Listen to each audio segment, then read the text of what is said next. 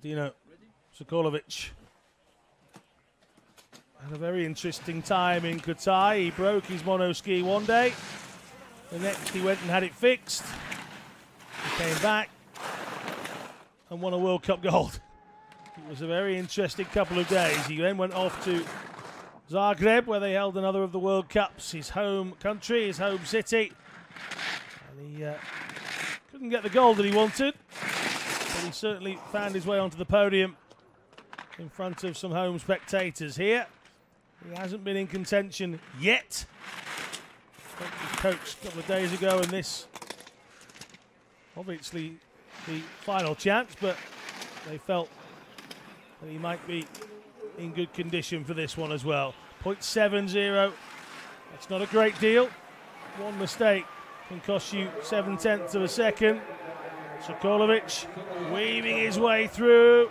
He's a big fellow, is Dino, using that upper body strength well to the line. 0.73, that's not a lot.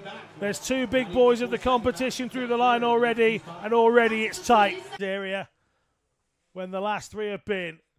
Dino Sokolovic from Croatia. The big man from Zagreb.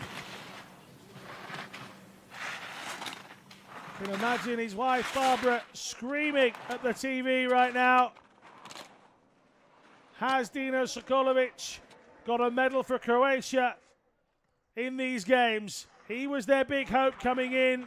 He's a big character, he's a big guy, and that's a big lead 2.01. He has to keep it in and around that, Sokolovic. If he goes top, he is a Paralympic medal winner.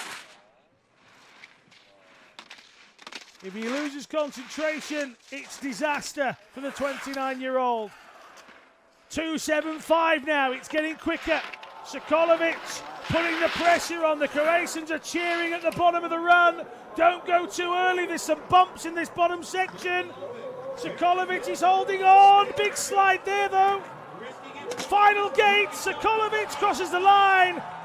He goes top. 2.21.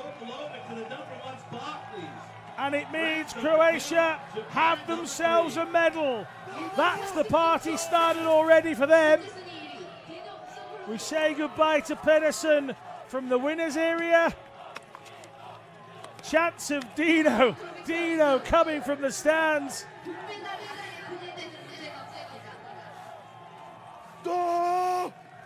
That's what it means.